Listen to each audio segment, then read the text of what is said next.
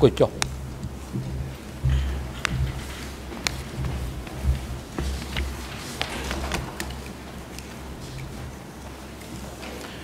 អង្គជំនុំជម្រះប្រកាសបន្តកិច្ចដំណើរការនីតិវិធីសម្ដែងការនិងផ្ដល់វិធីការជូនទៅក្រុមមេធាវីការពីក្តីលោកនុនជា ដើម្បីមានឱកាសបន្តការតាំងសម្រួលនេះដោលចំពោះសាក់សីអូអបអានតិចលោកវិទ្យាកូពេ បាទតិចសូមជ័យលោកជាក្រុមសមាគមឡាវែង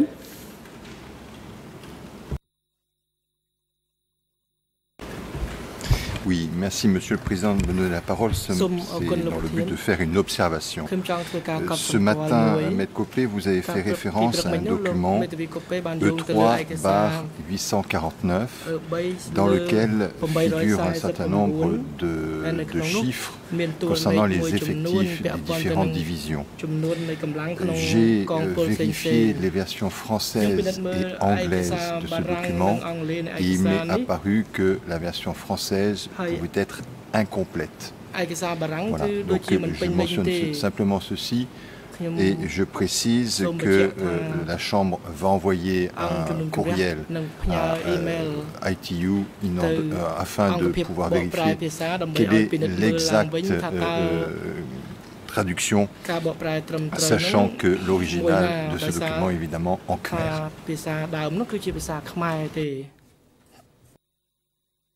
Et je précise que la partie qui manque, c'est euh, précisément le nombre de soldats de la division 450 qui étaient présents à Kompongchtam. ដែលមានវត្តមាននៅការដ្ឋានសាងសង់ពលានចំណោះកំពង់ឆ្នាំ Thank you very much uh, Judge Levine for this clarification អរគុណលោកចក្រមលវែងដែលបានបញ្ជាក់បំភ្លឺទៅលើចំណុចនេះ Mr Witness before the break I was asking you about យើងបានខ្ញុំបានសួរលោកអំពី the general tasks or objective of the Revolutionary Army of Cambodia um, after liberation. Um, let me assist you a bit. Um, is it your recollection that uh, the Revolutionary Army of Cambodia had two objectives. One was to defend the country, and two to build up the country after the war. ប្រទេសក្រោយពីសង្គ្រាមតើលោកចាំអំពីចំណុចនេះទេ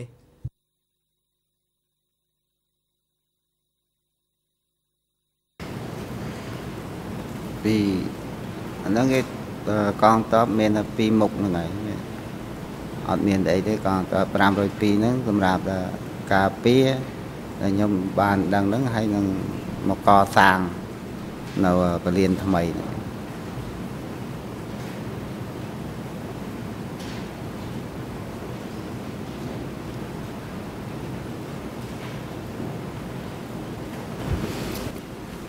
Is it is it then also fair to say that um, all at least all soldiers from um, Division 502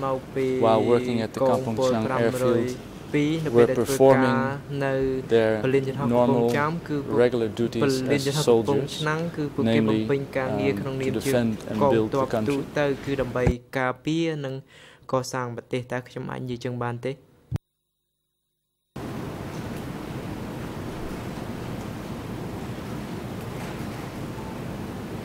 សាងប្រទេសតើខ្ញុំអាចនិយាយចឹងបានទេស្ដាប់អត់បានណាទៅ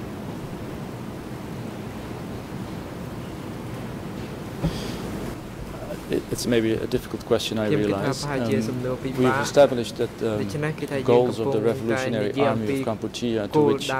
Division 502 belonged, was to defend and to build the country. កងទ័ពនេះដែរព្រោះថាកងទ័ពបដិវត្តកម្ពុជាមានគោលដៅកសាងនឹងការពារប្រទេសដូច្នេះការកសាងពលានយន្តហោះកំពង់ឆ្នាំងនឹង form a part of this um, objective. Was the building of the Kampong Chang airfield something to um, in order to uh, defend and build the country. In other words, were the soldiers belonging to 502 while working at the airfield doing their normal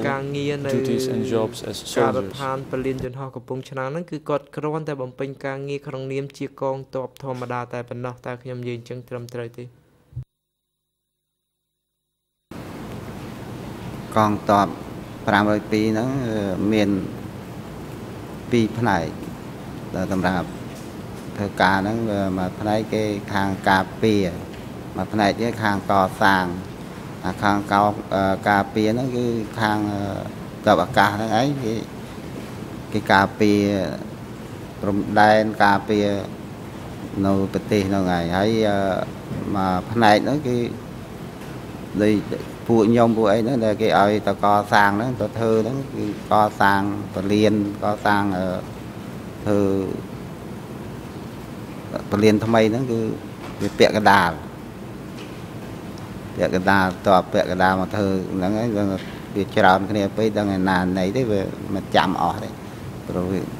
អ្នកកសាងផ្សេងអ្នកការពារផ្សេងចឹងទៅ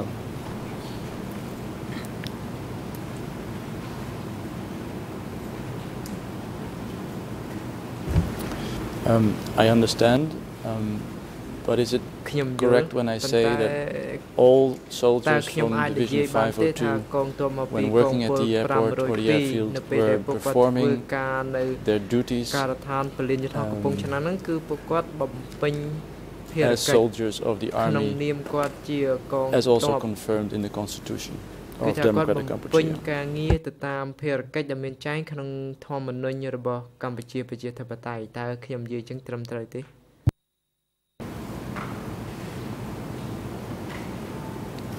បំពេញការងារទៅតាមភារកិច្ចដែលមានចែងក្នុងធម្មនុញ្ញរបស់កម្ពុជាប្រជាធិបតេយ្យតើខ្ញុំនិយាយចឹងត្រឹមត្រូវទេបំពេញការងារក្នុងតបហ្នឹងគឺដូចលោកនិយាយចឹងឯងគេកងតបហ្នឹងការពារនៅកន្លែងហ្នឹងអត់មានពេញការងារកសាងនិងការពារ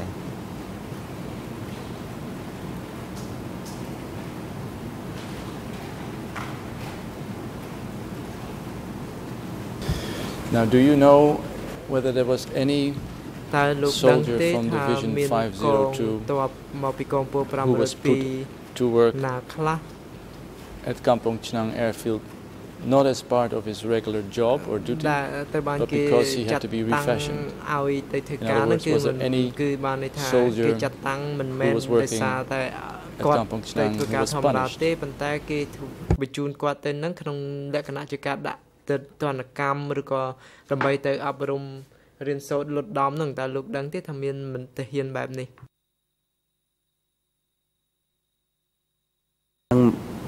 ខ្ញុំដឹងទៅមកហ្នឹងគឺបើដូចឲ្យខ្ញុំអីហ្នឹងគឺទៅហ្នឹងវាមិនដឹងថាខ្លួនឯងវាគេយកមកលុតដំលុតអីគឺអត់ដឹងទេមកធ្វើការហ្នឹងគេប្រើទូទៅអញ្ចឹងមកមិនដឹងថាគេលុតដំអីទេតែដល់ពេលមាន រឿងរ៉ាវបានដឹងថាឈ្មោះខ្ញុំនឹងមានអីនាការខ្មាំងអីអីចឹងគេប្រាប់តាមដំណើរអញ្ចឹងបងប្អូនអីធ្វើស្អីធ្វើអីចឹងក្រោយមកបានដឹងដឹងតាមរយៈដែលគេឲ្យធ្វើប្រវត្តិរូប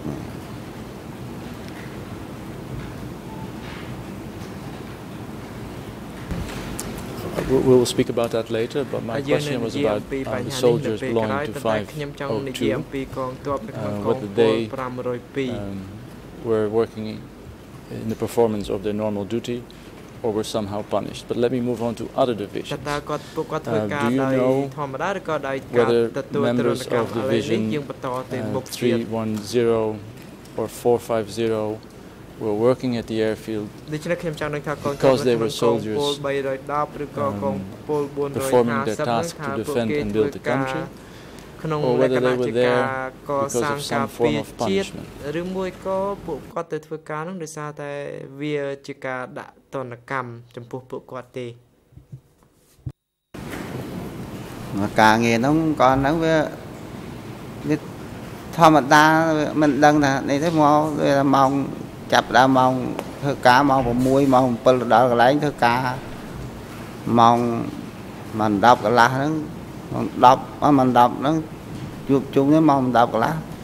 ដល់កន្លែងបាយវាមិនដឹងថាគេលុតដំឬមិនលុតដំគឺអត់ដឹងដឹងម៉ោងធ្វើការទៅធ្វើការម៉ោងសម្រាប់ហូបបាយហូបបាយហ្នឹងងូតទឹកងូតអីទៅអត់មានដឹងថាគេលុតដំអីអត់ដឹង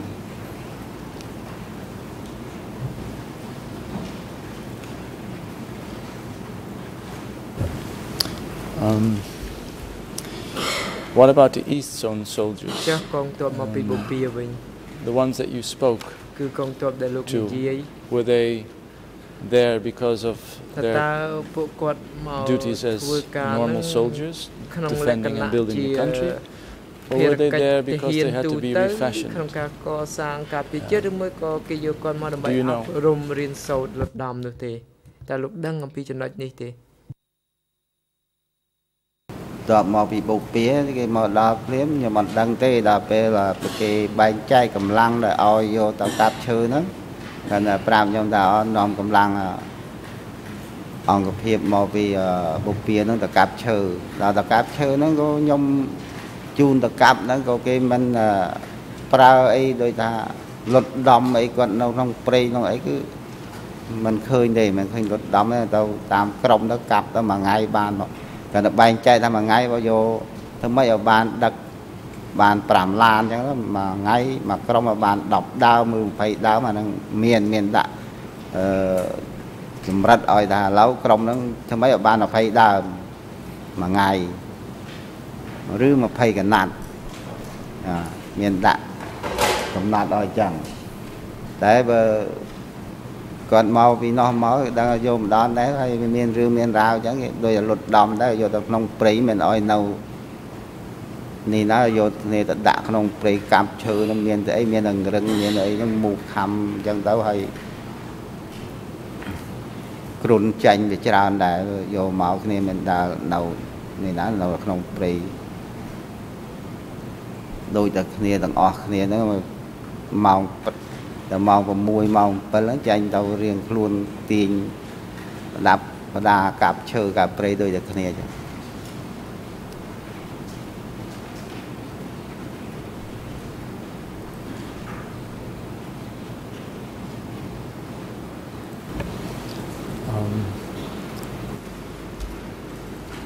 So those East Zone soldiers that you said you saw ដែលលោកបាននិយាយ were having the exact same working conditions គឺគាត់មានស្ថានភាពការងារ nobody was forcing them ហើយគ្មាននរណាគេបង្ខំ They were doing the exact same thing as the division 502 soldiers is that correct កងទ័ពបូព៌ាហ្នឹងគឺបំពេញការងារដោយពួកកងទ័ពមកពីកងពល502ចឹងដែរតែលោកចង់និយាយចឹងមែនទេខ្ញុំដឹងតែពេលអ្នកដែលទៅមួយខ្ញុំទេដែលអ្នកនៅក្រោយដែរដូចនៅតាមម៉ាស៊ីនអាឈើម៉ាស៊ីន អឺ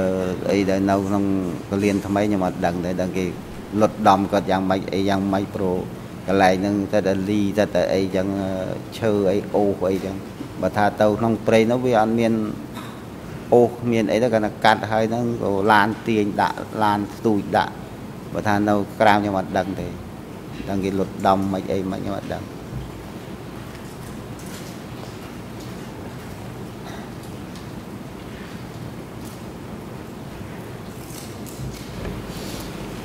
Um, one last attempt, uh, Mr. Witness, did you see soldiers from your division pointing guns at soldiers from East Division and ordering them to work? Or were they just waking up in the morning and doing the exact same thing as the soldiers within Division 502? ទៅកងទ័ពបូពីឲ្យធ្វើការឬមួយក៏ពួកគាត់ងើបមកធ្វើការដូចគ្នាធម្មតាគ្មានការភ្ជុំកំភ្លើងគ្មានការបខំ ដូចអត់មានអត់មានភ្ជុំនឹងដែលនៅកន្លែងខ្ញុំហ្នឹងអត់មានទេដែលទៅដែលខ្ញុំឃើញនៅអត់មានបើកន្លែងគេខ្ញុំអត់ដឹងព្រោះវានៅខុសគ្នាផ្នែកខុសគ្នាខ្ញុំអត់ដឹងបើថាទៅព្រៃនោះមានណាភ្ជុំណាទេគឺគាត់និយាយគ្នាខំធ្វើការឲ្យបានលឿនឲ្យគេហ្នឹងឯងហើយម្នាក់ម្នាក់ខំតែលះបង់ធ្វើម៉េច ខំយកចិត្តទុកដាក់ធ្វើការខ្លាចតែ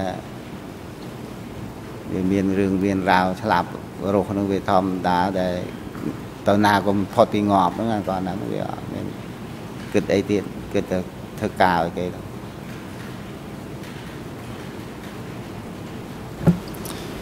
Um I will move to another topic ខ្ញុំនឹងបន្តទៅ Yesterday you said something about កាលពីម្សិលមិញលោកសាក់សីបាននិយាយអំពី an office មន្ទីរមួយ transportation office 3 kilometers west of the airfield មន្ទីរដឹកជញ្ជូនដែលមានចម្ងាយប្រហែលជា3គីឡូម៉ែត្រពីប្រទេស you were there at night ហើយមានម្ដងនោះលោកនៅ and then subsequently you heard screaming ក្រោយមកទៀតឮលោកឮគេឮសំឡេងស្រែកយំ Can you tell me again and be a little more specific as to where trucks that you referred to yesterday were coming from which direction were they coming from និយាយកាលពីម្សិលមិញតើឡានដែលគេដឹកហ្នឹងគេដឹកមកពីទិសទីតាំងណាឬក៏មកមកពីទិសដៅណាដែរលោកអាចបញ្ជាក់បានលម្អិនបន្តិចបានទេឡានវាយប់មើលមិនស្គាល់ឡានទេប៉ុន្តែឡានហ្នឹងឡានតបហ្នឹងដែរតែដឹកមកពីខាងភ្នំមកវិញមកពីគេថាក្បាលពលានមកវិញដឹកមកវាផ្លូវហ្នឹងវាកាត់មុខ កន្លែងខ្ញុំហ្នឹងហើយព្រោះថ្ងៃហ្នឹងខ្ញុំនៅកន្លែងឮទៅសូឡានយប់ហ្នឹងចេញទៅដល់ពេលមកតែជាមកកន្លះម៉ោងទៅក្រោយហ្នឹងបើដីក្រោយកន្លែងខ្ញុំហ្នឹងវាមានព្រៃអតីព្រៃអីហ្នឹងដល់វាទុះឮស្រែកឬអីចឹងទៅខ្ញុំមិនចេះឮហ្នឹងមិនចាប់អារម្មណ៍ថាស្រែកស្អីបានគេទៅដេញស្អីដេញអីទេដល់ថ្ងៃក្រោយទៀតខ្ញុំ ទៅអូសឈើឡប់មកវិញបានធំក្លិនទៅអីខ្ញុំដើរទៅធំខ្លាំងនៅក្រោយហ្នឹងឯងខ្ញុំដឹងថាបានតែគេទៅបបាញ់បអីពីដើមវាកំណត់នោះវាច្រើនគេបើកឡានបបាញ់សัตว์បបាញ់អីដល់ឮស្រែកទៅបានខ្ញុំចាប់អារម្មណ៍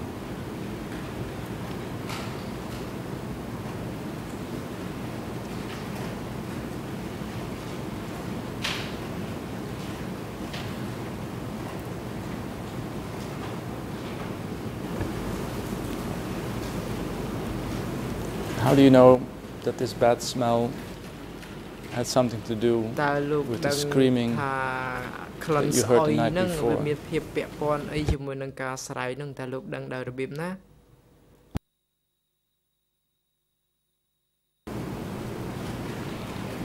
ដឹងតែពេលខ្ញុំដើរទៅក្រោយទៅអីលបងអីកន្លែងណាក់នៅហ្នឹង ដឹងពេលហ្នឹងវា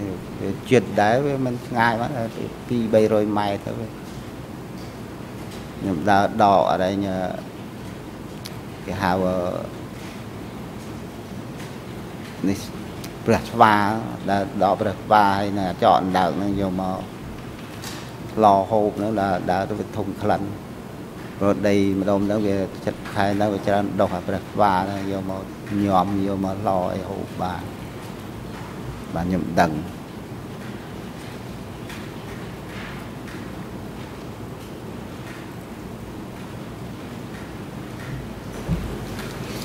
Um, I understand, but I'm trying to, to, to follow you and to see uh, how the trucks that you saw at night were related to screams possibly from animals and subsequently linked to a bad smell. How was it that you connected those three things? What made you think at the time that these were related, the trucks, the, the screams and the, and, and, the, and the bad smell? ឡានដឹកមនុស្សរវាងឡាននិងសម្លេងស្រែកហើយតាក់ទងជាមួយនឹងក្លិនស្អុយនឹងលោក មានអ្វីដើម្បីបង្ហាញពីភាពតាក់ទងគ្នានេះនៅចំនួននោះមិនថាពួកអឺ17មេតាឬអ្នកចាស់អីទេគឺទូទៅអញ្ចឹងឲ្យតែគេដូចថាយើងធ្វើខុស ស្អីមួយឬមិនគោរពភារកិច្ចគេឬស្អីមិនថាអ្នកចាស់អ្នកថ្មីទេត្រូវតែគេយកទៅកសាងអញ្ចឹងទៅកសាងពី3ដងហើយយើងមិនដឹងរឿងអីទៀតនឹងគេដកចេញទៅជួនកាលក្នុងពី3ខែអញ្ចឹងទៅបាត់មេមួយទៅពី3ខែបាត់មេក្រុមសំខាន់អ្នកដែលកាន់ តបមេក្រុមមេកងមេអីហ្នឹងវាច្រើនបាត់ខ្លួនហើយមិនត្រឹមតែនេះវាច្រើនអ្នកដែរដែលថាអ្នកធ្វើការចាស់ចាស់អញ្ចឹងយូរបាត់មួយអញ្ចឹងទៅនឹងនឹងគេដកទៅធ្វើការនៅណាខ្ញុំអត់ដឹងទេទៅទៅបាត់ខ្លួនទៅបាត់ខ្លួន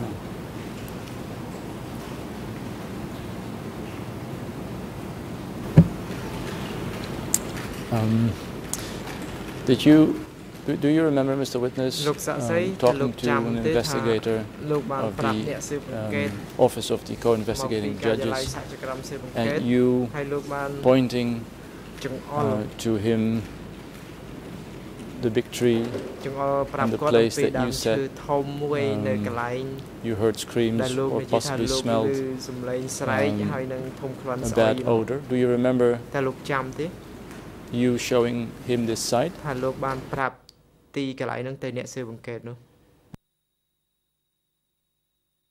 ខ្ញុំចាំបានពេល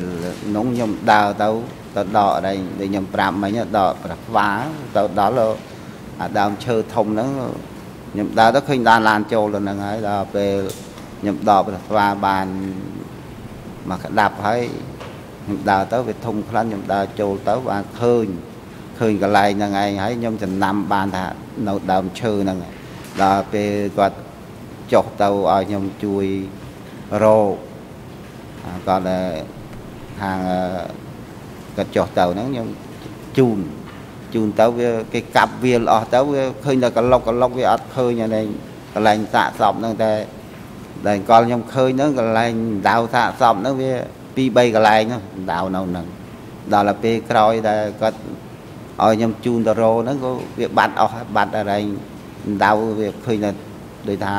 គាត់តែមានតែប្រហែលប្រហែលនៅហ្នឹងឯងរកកន្លែងហ្នឹងគេកាប់ដើមអាស័យដើមអីអស់គេរុញដើមអាស័យអស់ទៅ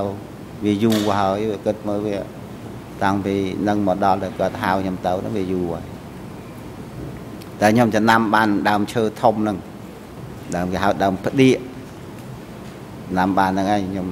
នាំគាត់ដើរទៅ And, and do you remember that this particular investigator told you at one point that um, no remainders whatsoever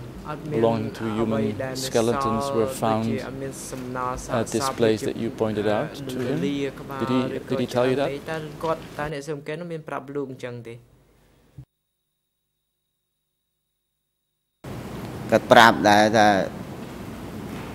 វាអត់មានមែនខ្ញុំទៅហ្នឹងទៅទៅរោហ្នឹងក៏អត់មានឃើញសល់អីដែរអត់មានទេកន្លែងហ្នឹង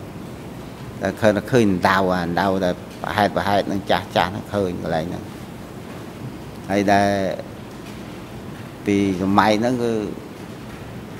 ស្រែកឬស្នូស្រែកអីស្រែកចេញពីកន្លែងហ្នឹងមិនចាំបានទៅពេលខ្ញុំដើរទៅឃើញនៅនឹងមកឃើញ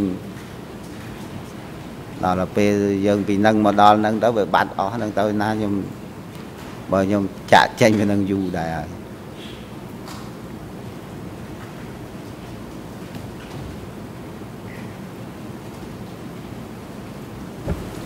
Why did you say earlier that this screaming that you said you heard um, could also come from animals? What made you say that? វាមិនអាចទេឬថាសំឡេងស្រែកហ្នឹងជាសំឡេងរបស់សត្វ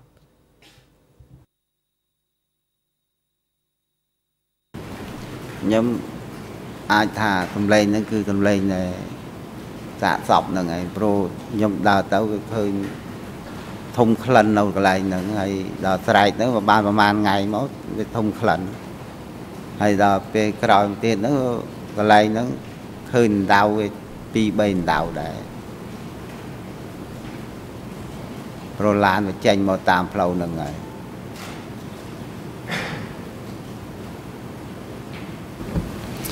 Um, do you know in which uh, sector of which zone uh, the Kampong Chnang airfield was located? ភូមិភាគណាតើតើពលានយន្តហោះកំពង់ឆ្នាំងហ្នឹងស្ថិតនៅក្នុងតំបន់ឬក៏ភូមិភាគណាដែរនៅពលានយន្តហោះហ្នឹងភូមិភាគបាច់ចាប់នៅកន្លែងហ្នឹងគេហៅភូមិភាគបាច់ចាប់តំបន់20ប្រហែល បើស្រុកគេហៅកន្លែងហ្នឹងគេហៅថាស្រុក20តំបន់ហ្នឹងតំបន់ម៉ានទេខ្ញុំតំបន់តាមម៉ានទេតាមខ្ញុំភ្លេចបាត់ទៅហ្នឹងតែភូមិភាគភូមិភាគប្រចាំ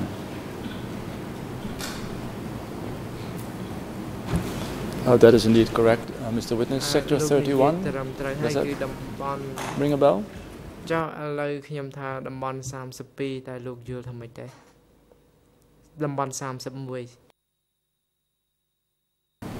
អាហ្នឹងលេខគេលេខតំបន់31តែដល់ភូមិភាគគេហ្នឹងគេហៅភូមិភាគបច្ចឹមស្រុកស្រុក20ខ្ញុំចាំមិនបានផង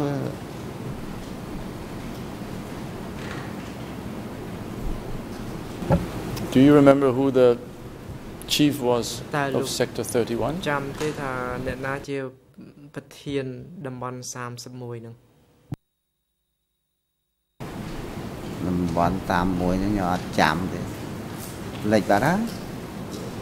យូរឆ្នាំខ្ញុំចាំមិនអស់ Tasarung does that jog your memory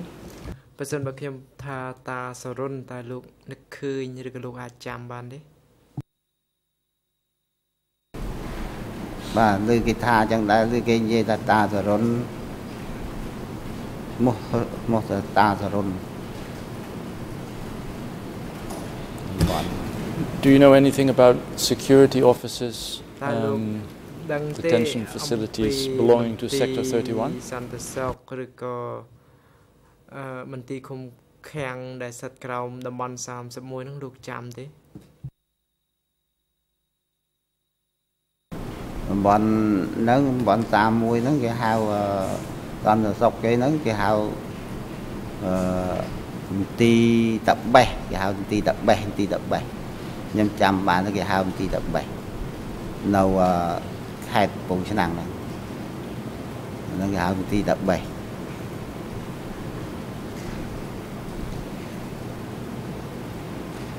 And how far was uh, Tabe's office from Kampong Chnang Kampong Chnang airfield មន្ទីរសន្តិសុខតាបេះហ្នឹងមានចម្ងាយប្រហែលប្រមាណដែរពីពលានយន្តហោះកំពង់ឆ្នាំងពីបើពីពលានទៅឆ្ងាយទៅដល់ខេត្តនោះបើពីសាលាខេត្តទៅមន្ទីរតាបេះហ្នឹងប្រហែលជា5 600ម៉ែត្រទេនឹងដល់សាលាខេត្តហ្នឹងដល់ដល់ផ្លូវចូលនេះហ្នឹង តែបើចេញពីពលាននេះទៅវាគិតទៅពីពលានទៅហ្នឹងប្រហែលគីឡូទេដូចបាទមិនបានចាំទេអត់បានចាំ Um, because of the time, I will move on uh, to the next subject um, that I would like to discuss with you, Mr. Witness. Um, I, I, if I understand your testimony correctly, you were accused of stealing rice at one point in time. Um, can you explain to us again why exactly was this accusation um, brought against you? Why were you accused of stealing rice ខ្ញុំចង់សួរថាហេតុអ្វីបានជាគេចាត់ប្រកាន់ថាលោកលួចស្រូវ Um Your Honor my memory of the evidence was that uh, he was accused of providing rice to people from the east side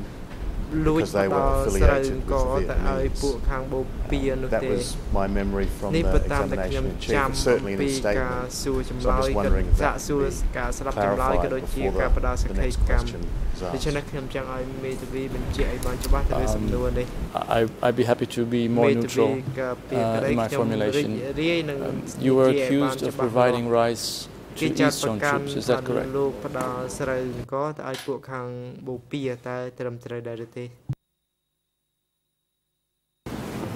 ត្រឹមត្រូវហ្នឹងពេលខ្ញុំមកបើអង្គបើអង្គហើយដែលដឹកអង្គយកទៅខាងបូព៌ាដោយកាប់ឈើដល់អញ្ចឹងខ្ញុំដឹកទៅអង្គថ្ងៃនោះដឹកច្រើនដែរជា50 60ការុងហើយខ្ញុំទៅបើកឆ្នាំពេទ្យដល់ទៅបើកឆ្នាំពេទ្យទៅ ទៅជួបនឹងប្រធានទីហ្នឹងយកគេថាហ្នឹងអាឯងដឹកអង្គអីច្រើនមែនដឹកទៅណាដឹកឲ្យខ្មាំងស៊ីខ្ញុំថាអើបើបើឲ្យខ្ញុំថាខ្ញុំដឹកអង្គឲ្យខ្មាំងស៊ីមានតែខ្ញុំនឹងខ្មាំងដែរខ្ញុំថាចាដល់អញ្ចឹងទៅខ្ញុំទៅនិយាយជាមួយពេទ្យនិយាយមួយពេទ្យហ្នឹងពេទ្យគាត់ថាឆ្នាំហ្នឹងយកប្រមាណខ្ញុំថាឆ្នាំគ្រុនចាញ់ហ្នឹងឲ្យបាន200 នេះមក200កញ្ចប់មកអាកញ្ចប់សុងសុងវាហ្នឹងខ្ញុំសុំវា200ហើយឆ្នាំលេសម្រាប់ឈឺចាប់ហើយនឹងឆ្នាំលបួសឆ្នាំអីហ្នឹងដល់រួចទៅវាថាទៀតវាថាឲ្យខ្ញុំទៀតថាហឹមហើយទៅអាឈឺចាប់អីអាដើមឆ្នាំកកូក្នុងព្រៃហ្នឹងមិនកាប់ធ្វើឆ្នាំទៅខ្ញុំថាអើបើទៅនិយាយចឹងដែលដែរនិយាយឯងទៅធ្វើទៅ ខ្ញុំក៏និយាយលេងអញ្ចឹងទៅមិនចាប់ភ្លឹកថាគេចង់ធ្វើបាបខ្ញុំឯងអត់ដឹងដល់ខ្ញុំមកវិញបាន3ថ្ងៃបានគេចាប់ខ្ញុំនឹងបដ ாய் ទៅ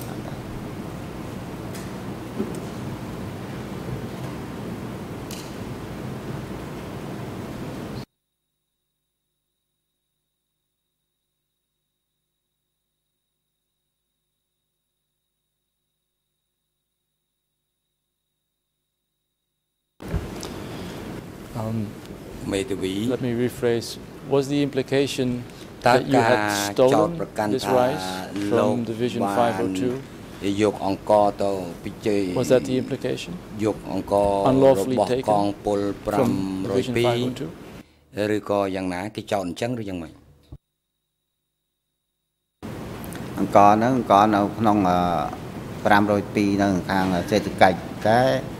ពេលខ្ញុំទៅហ្នឹង គេប្រាប់ថាដូចបងល្វីហ្នឹងគាត់ប្រាប់ថាអង្គស្អីស្អីហើយត្រូវទៅបើកនៅសេដ្ឋកិច្ចបើកដូចថាប្រមាណអ្នក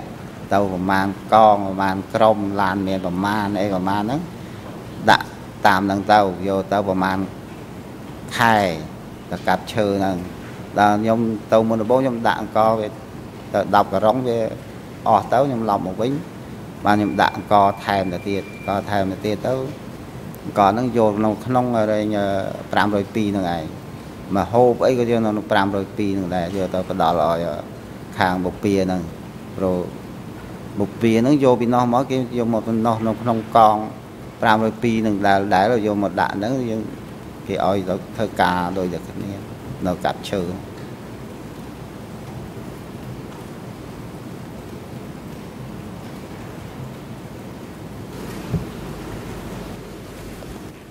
Did you have a written instruction តើលោកមានការណែនាំជាលេខអក្សរឬក៏ការបញ្ជាពីល្វីជាលេខអក្សរ an order a piece of paper that you could show ដើម្បីឲ្យយកអ្នកលិខិត that would stop your car or your ទៅបង្ហាញអ្នកណាម្នាក់ដែលអាចបញ្ឈប់ក្បួនឡានរបស់ក្រុមលោកឬក៏អត់ទេសុំម្ដងទៀតស្ដាប់អត់បាទ As I understand your testimony, you were ordered to bring rice to these troops. Did you have a written order with you, something តើលោកមានការបញ្ជាជាលេខអក្សរណាមួយលិខិតណាមួយដើម្បីបង្ហាញទៅឲ្យកងទ័ពណាមួយបញ្ឈប់ឡានរបស់លោកបញ្ឈប់លោកនៅពេលដែលលោកធ្វើដំណើរលើផ្លូវនោះដែរទេសាក់សៃមកតនឆ្លើយតបអញ្ជើញសហប្រញ្ញារងអន្តរជាតិ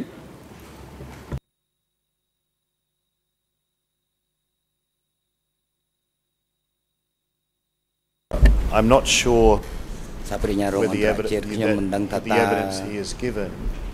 um, is that he was ordered to give rice to East Zone troops.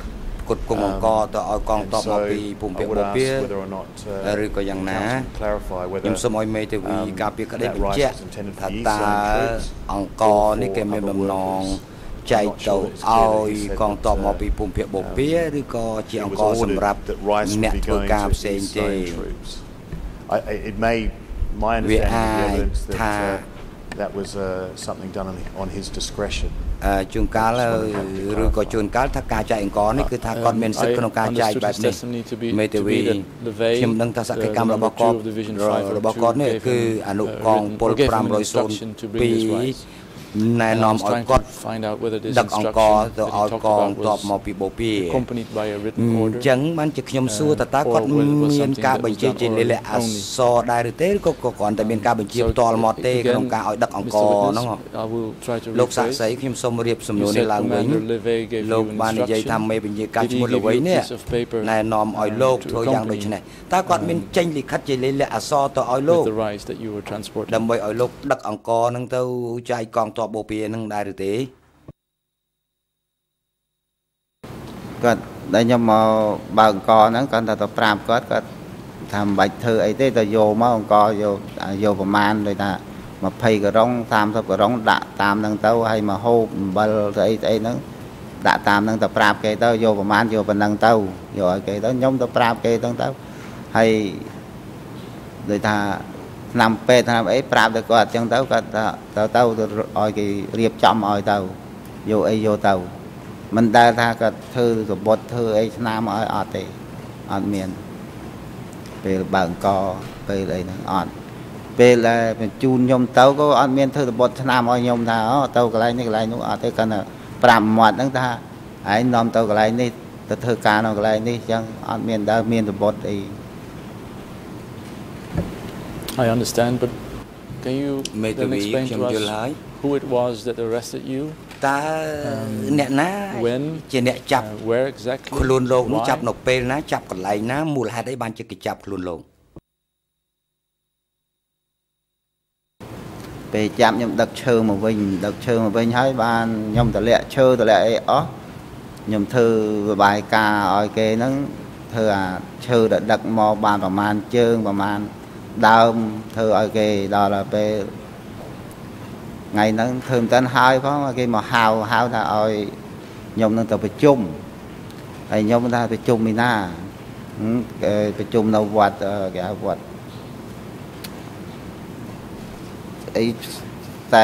អីមិនទេវត្តហ្នឹងវាឈ្មោះគេមិនថាអញ្ចឹងទៅមុនខ្ញុំទៅតាមក្រោយគេគេអត់សុខចិត្តទេគេថាទៅឡើងឡានទៅទាំងអស់គ្នាយ៉ា ឲ្យឡើងឡានទាំងអស់គ្នាខ្ញុំក៏មិនបាននេះយកទៅអាដែងទៅដាស់ប្រហែលសន្លឹកហ្នឹងហើយកាន់ទៅហើយឡើងឡានទៅហើយរៀកខោខ្លីពាក់អាវអាម៉ងសង្គួយហ្នឹងអត់មានស្អីទេព្រោះខ្ញុំតោះហ្នឹងខ្ញុំចេះហូបបរិយហ្នឹងហូបឆ្នាំខ្លាំងហូបឆ្នាំខ្លាំងអាដែងមូដៃប៉ិនធំធំហ្នឹងផ្លឹកកកោះហ្នឹងខ្ញុំជក់ដើរទៅដល់ពាក់ដើរផ្លូវវាថា ឈប់ជក់ទៅហុយណាស់តែអញ្ចឹងខ្ញុំបោះចោលបោះចោលកាលនេះឲ្យដល់ឡានដល់កន្លែងហ្នឹងចុះទៅឡើង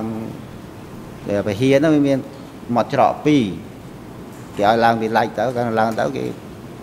ក្រឹបហ្នឹងខ្ញុំអត់ដឹងថាគេចាប់ដឹងមិនដឹងថាគេចាប់ណាអាថាឲ្យទៅប្រជុំចូលអត់ទៅដល់អត់មានឃើញមនុស្សអីបងតែក្រឹបយកនឹងមានដឹងថាស្អីស្អីអត់ដឹងទេ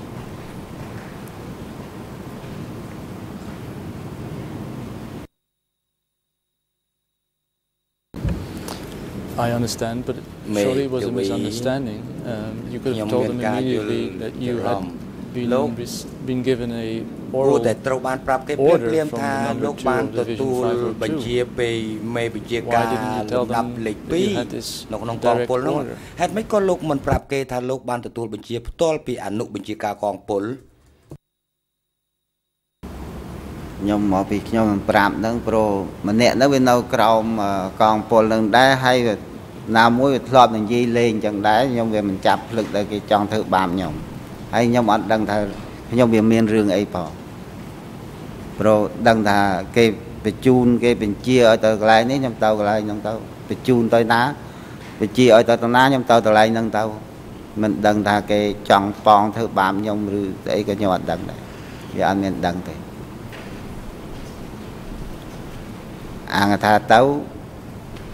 សុំគាត់ យកស្អីគឺគាត់ឲ្យយកនឹងទៅទៅទៅខ្វះស្អីយកនឹងគាត់ឲ្យទៅបើកទ្វារយកទៅមិនដែលមានសបុតស្នាមអីទេអត់ដែល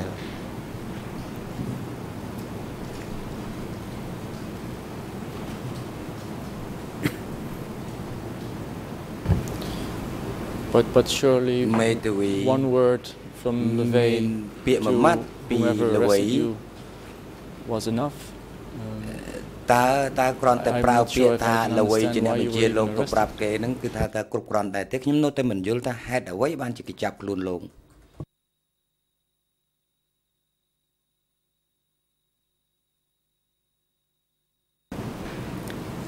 តែគេចាប់ហ្នឹងខ្ញុំក៏មិនដឹងថាមូលហេតុអីទេដឹងថាខ្ញុំនិយាយលេងជាមួយគេហ្នឹងអារឿងកហ្នឹងឯងនិយាយរឿងថាបើអឺ លោកឯងថាយកឲ្យខ្ញុំយកអង្គឲ្យខ្មាំងស៊ីមានតែខ្ញុំនឹងខ្មាំងដែរនិយាយលេងអានឹងឯងព្រោះធ្លាប់និយាយលេងដែរមិនចាប់ភ្លឹកតែគេមានសម្រុយទុកហើយហ្នឹងអីមិនដឹងខាងបុព្វាហ្នឹងគាត់តែគេយកមកពីនោះមកហ្នឹងវាថាមានរឿងរ៉ាវពីនោះមកមិនដឹងអីមិនដឹងដល់គេឲ្យខ្ញុំទៅអញ្ចឹងទៀតទៅតែខ្ញុំនិយាយលេងទៀតទៅវា ចូលក្នុងអាខ្លុងនឹងទៅបាទគេពងអាគុំខ្ញុំរឿងអីមួយខ្ញុំអត់ដឹងដែរ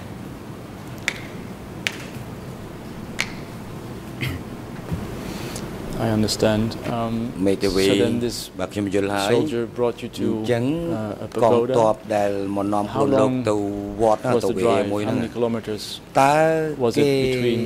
បើកឡានហ្នឹងអស់រយៈពេលប៉ុន្មានដែរ The moment you told him a joke and the moment that you arrived at ពី this កន្លែង pagoda. ដែលលោក Was គាត់ it ថានិ half យាយ hour, លេងហ្នឹង20ថា minutes? បើដឹកអង្គទៅឲ្យខ្មាំង Longer? លោកខ្មាំងដែរហើយទៅដល់វត្តហ្នឹងតើលោកចាំទេដឹកនឹងចំណាយពេលអស់ប៉ុន្មាននាទី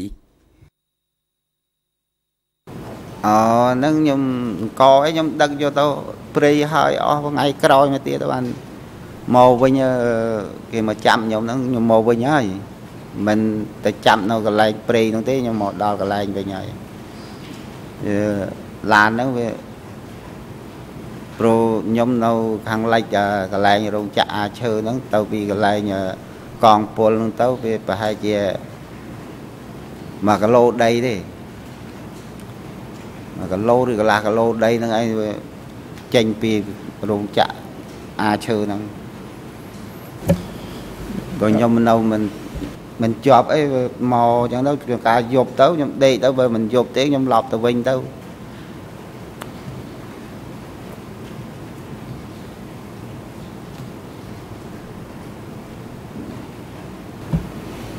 Um, I understand. Um, maybe I, I completely misunderstood your ប្រហែលជាខ្ញុំ testimony, but I thought you យ said ល់ that ច្រឡំ because of the ចម្លើយ stealing of លោក rice, ទាំង you ស្ ended រុង up in ដោយសារ full តែគេ slang. ចោទថាលោកដឹក Was that ក your ទៅ testimony? ឲ្យខ្មាំងអញ្ចឹងបានជាគេ Or ចាប់លោកទៅទួល did I ស្លែងលោកឆ្លើយថាអ misunderstand ញ្ចឹង it ឬក៏ខ្ញុំស្ដាប់លោកច្រ Or ឡ is ំ your ទេ testimony that you ended up in this pagoda, the situation ឬ was ក៏ solved, and then you could ចម្លើយ return? របស់លោកហ្នឹងគឺថាគេចាប់លោកក្នុងវត្តហើយលោកគិតថាអាចនឹងបានរួចខ្លួនមកវិញតើខ្ញុំយល់អញ្ចឹងត្រឹមត្រូវទេ ពេលគេចាប់ហ្នឹងគេចាប់ពីកន្លែងខ្ញុំទៅយកទៅកន្លែងវត្តហ្នឹងគេដឹងគេចាប់ពីណាវិន័យទៀតទេទៅកន្លែងវត្តហ្នឹងកន្លែងវិហារហ្នឹងហើយខ្ញុំទៅហ្នឹងគេយកទៅកន្លែងវិហារហ្នឹងដែរ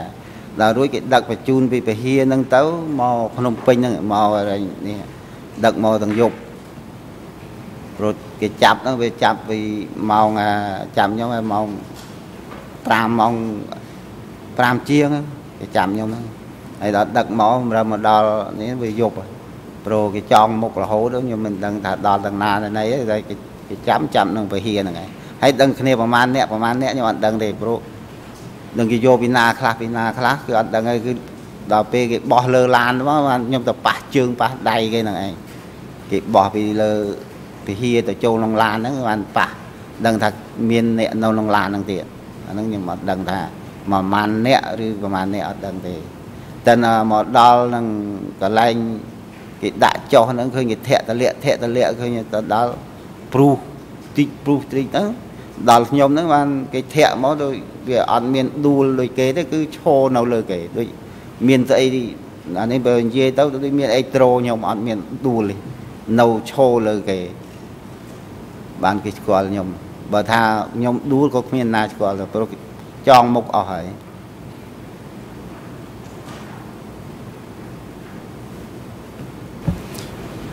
But can you explain to me how មេ you ទៅវីតើលោក how អាច you ជម្រាបជូនអង្គជំ thought នុំ at ជម្ the រះបាន time ទេ that ថា you នៅ had ពេល been ហ្នឹង brought to something called អឺ Pool Slang? តើលោកពិតជាដឹងថាគេនាំខ្លួនលោកទៅកន្លែងមួយហៅទួលស្លែងហ្នឹងឬក៏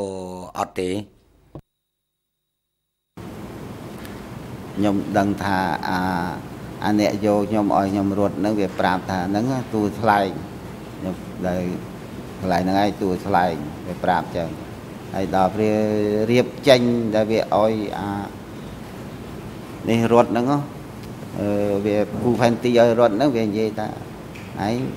មិនធម្មតាទេវាដឹកដៃខ្ញុំចេញពីអីលបងហ្នឹងវាថាមិនធម្មតាស21ដឹកឲ្យងាប់ហើយតែលើកនេះឯងធ្វើមិនឲ្យរួចខ្លួនអញនៅខាងនេះដឹងយ៉ាងណាទេវានិយាយប៉ុណ្ណឹងថា មុននឹងរំរស់ហើយធ្វើមិនរត់ឲ្យរួចអញនៅនេះដឹងយ៉ាងណាដែរគាត់និយាយប៉ុណ្ណឹងទេនិយាយបានប៉ុណ្ណឹងក៏វាថាទៅឲ្យលឿនទៅខ្ញុំក៏រត់លឿនមកមិននេះទៅរត់គាត់នៅលឺទៅមនុស្សលឺទៅមាត់ហ្នឹងទាំងមិនថាប្រុសឬស្រីជាចូលក្នុងលូបដ ாய் អាលូទឹកស្អុយតាមហ្នឹងវាក៏ហ្នឹងវាលូទឹកស្អុយអត់មានទៅបិទគម្របទេអាគម្របនៅគេបើកយ៉ាងហ្នឹងឲ្យតែឃើញមនុស្សទៅចូល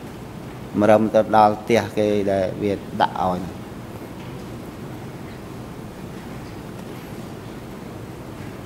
ហើយខ្ញុំវាឈឺផងវាអាយះដែលវាបោះលើឡានអានេះឲ្យវាដាច់អស់ហើយអានេះយះហើយមុខមាត់នេះវាអុចនឹងភ្លើងបរិយឲ្យអស់ដែលអង្គុយតំបរិយគេជក់លើឡាន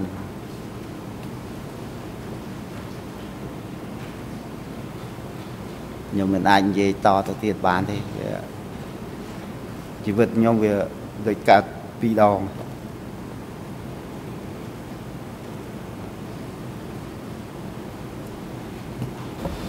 Um, I don't have many minutes anymore, Mr. Um, មេធាវីខ្ញុំចិត្តអស់ពេលហើយលោកសាក់សីខ្ញុំមានសំណួរតិចតួចទៀត Were you blindfolded all the time? តើគេចងមុខ also blindfolded when you entered this premises that you called Toolslang? លោកចូលទៅបរិវេណមួយដែលគេហៅទៅ Toolslang នេះចឹងគេចងមុខលោករហូតដល់ទៅដល់ហ្នឹងគេចងតាមពីវត្តនេះទៅពីចាប់ពីវត្តនេះរហូតទៅតែខ្ញុំធំក្លិនបរិយ នឹកឃើញថាមុននឹងងាប់ខ្ញុំសុំបរិយជក់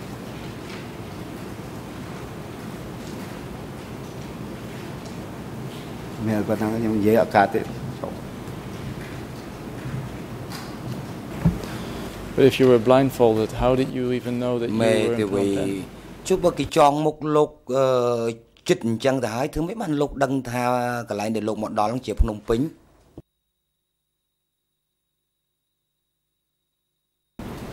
ពេលគេធាក់តម្លាក់មកគឺអ្នកទោសគេមានចាប់អីត្រឹមត្រូវបោះអីត្រឹមត្រូវគេគេថាធាក់តម្លាក់ធាក់តម្លាក់មកហ្នឹងដល់មកដល់ហ្នឹងទៅអឺចូលនឹងហើយដល់ពេលធ្លាក់មកហ្នឹងអាកសែងអាកណាត់ខ្មៅហ្នឹងវារៀងភើយភើយឃើញ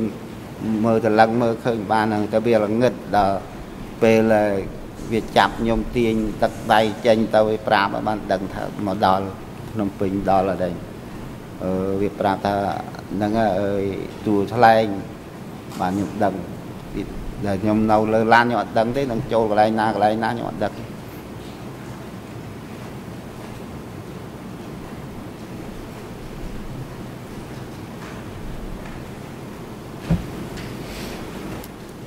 មេធាវី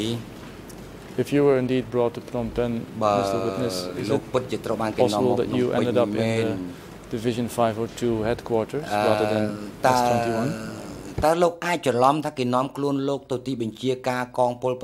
502មិនមែនជាទួលស្លែងទេអាចច្រឡំអញ្ចឹងទេអត់មានច្រឡំទេព្រោះខ្ញុំរត់ទៅខ្ញុំរត់ទៅរមករ502វិញខ្ញុំរត់មកមកដល់ ពៀនជ្រួយចង្វានេះរត់ពីនៅមកមកដល់ពៀនជ្រួយចង្វានេះវិញ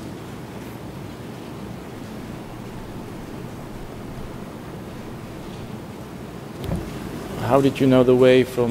the place that មេធាវីធ្វើម៉េចបានជាលោកដឹងពីកន្លែងដែលលោកចាប់ផ្ដើមរត់ចេញហ្នឹងហើយទៅដល់កន្លែងទីវិជាការរបស់កងពល200 What is it that you remember លោកចាំអីខ្លះដែរកន្លងលោកមានចាំឈ្មោះផ្លូវចាំលេខផ្លូវចាំមហាវិទ្យាអីទេទៅអាចឲ្យឲ្យលោករកឃើញទីបញ្ជាការកងពល502បានឲ្យវាឲ្យអដែងកដាស់មកវាគូគូកដាស់នឹងមកទាំងណាទាំងណាភ្នំអឺទាំងណាផ្លូវនេះ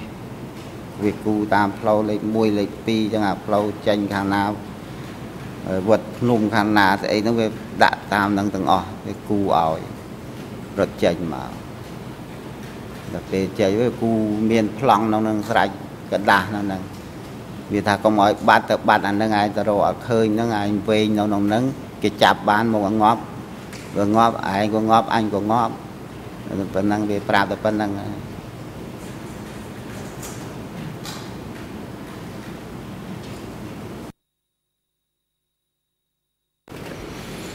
Um, Mr. Witness, I have many more questions to put to you. មេធាវីខ្ញុំមានសំណួរច្រើនទៀតត្រូវទៅត្រូវសួរលោកប៉ុន្តែខ្ញុំវាអស់ម៉ោងទៅហើយអញ្ចឹងខ្ញុំសូមអរគុណណាដែលលោកបានឆ្លើយទៅនឹងសំណួររបស់ខ្ញុំខ្ញុំអស់សំណួរឲ្យលោកប្រធានអរគុណជាបន្តនេះអរផ្ដល់វេទិកាជូនទៅក្រុមមេធាវីការពីក្តីលោកខៀវសំផនដើម្បីមានឱកាសតាំងសំណួរដេញដោលចំពោះសាក់សី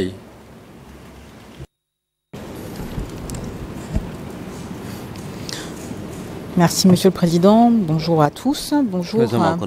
Monsieur Chamman. Je m'appelle Antagissé. Je suis co-avocat international de Monsieur Kessampan. Et c'est à ce titre que je vais vous poser un certain nombre de questions complémentaires. Je vais essayer d'éviter de faire des répétitions et je vais vous demander de m'aider en faisant sorte de répondre le plus précisément possible aux questions que je vais vous poser.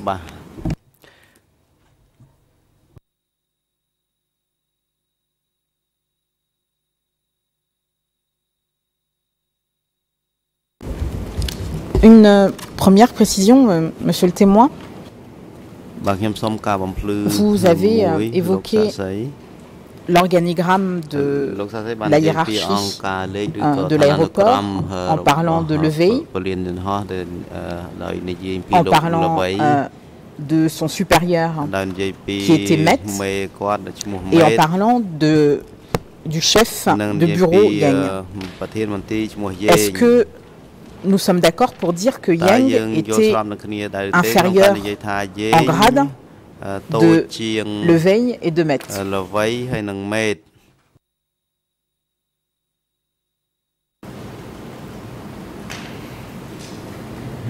3នាក់ហ្នឹងតែយាយហ្នឹងប្រធានទីវាមានទឹកត្រឹមប្រធានទីតែវាចាត់ចែងទាំងអស់ហ្នឹងឯងប្រធានទីហ្នឹងគេចាត់ចែងកម្លាំងអី មកពីកងពលមកនៅលើធានទីគេថាចាត់ចែងឲ្យតណាធ្វើអីណាធ្វើអីហ្នឹងនៅលើធានទីហ្នឹង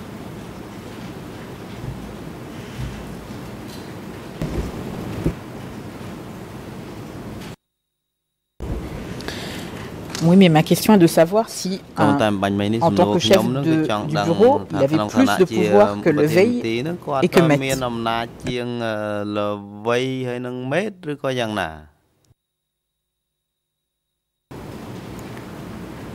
អំណាចហ្នឹង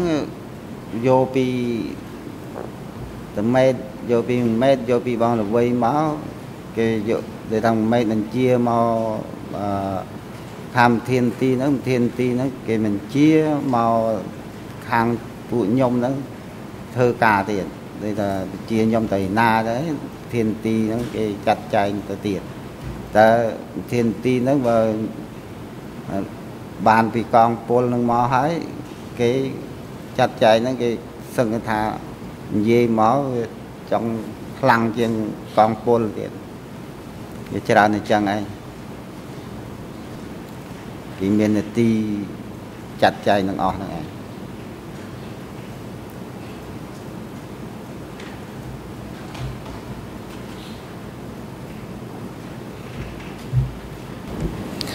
Mais nous sommes d'accord pour dire que Yang devait suivre les ordres de l'éveil et de Met. On est bien d'accord sur ce point.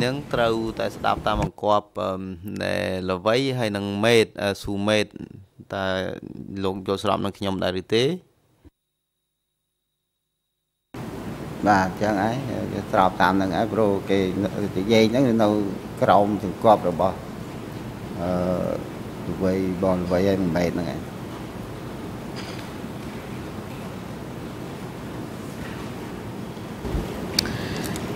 Dans votre déclaration, E3 bar 5278 ERN en français 00 355 864 ERN en anglais 00 29283 ERN en Khmer 00287527 Vous évoquez également une autre personne qui s'appelle Song, S-O-N-G. Et vous dites il s'appelait Song,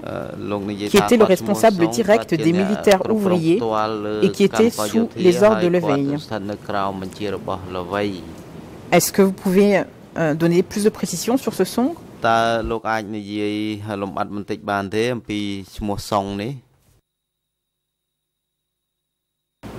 អាចនិយាយលំអិតបន្តិចបានទេអំពីឈ្មោះសុងនេះអឺសុងហ្នឹងក៏ផ្នែកខាងដោយថាអឺនៅក្នុងមន្ទីរហ្នឹងដែរតែក៏ផ្នែកខាងពោះវែងខាងអឺស្ទង់ខាងអីហ្នឹងទាំងអស់កូនចៅគាត់ហ្នឹងខាងស្ទង់ខាងអឺពោះកន្លែងណាឲ្យគេធ្វើកន្លែងណាកន្លែងណាហ្នឹងគាត់ស្ទង់ឲ្យអីឲ្យឲ្យគេធ្វើនៅហ្នឹងហើយ ផ្នែកគាត់ផ្សេងនៅនៅនឹងដែរតែគាត់ផ្សេងគ្នាការងារគាត់ផ្សេង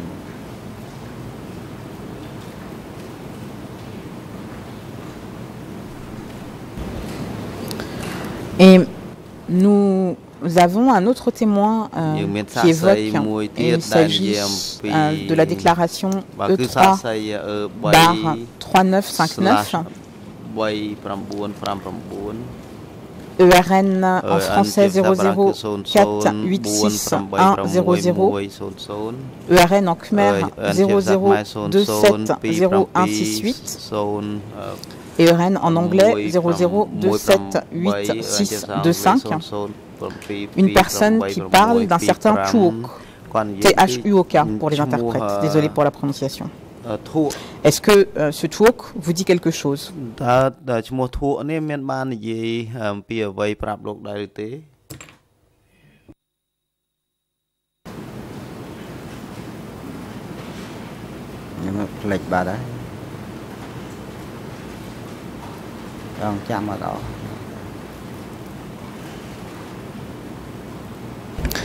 Vous avez indiqué que parmi euh, les tâches qui vous ont été confiées sur euh, l'aéroport de Kampong Chang, vous avez euh, notamment conduit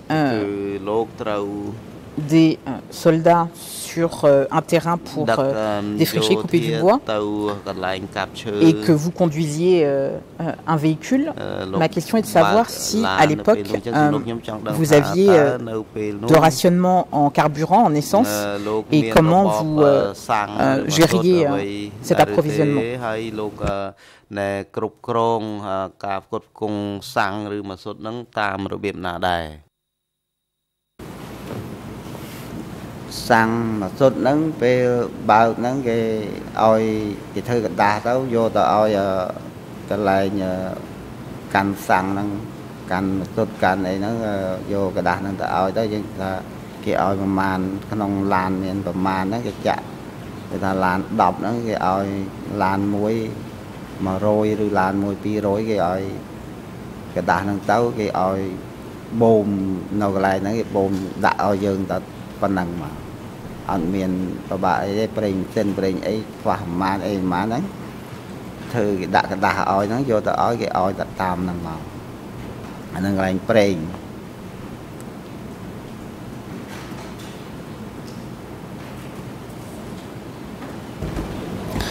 Un dernier point avant la pause, hein, parce que je vois que nous sommes euh, pratiquement à 11h30. Euh, vous avez indiqué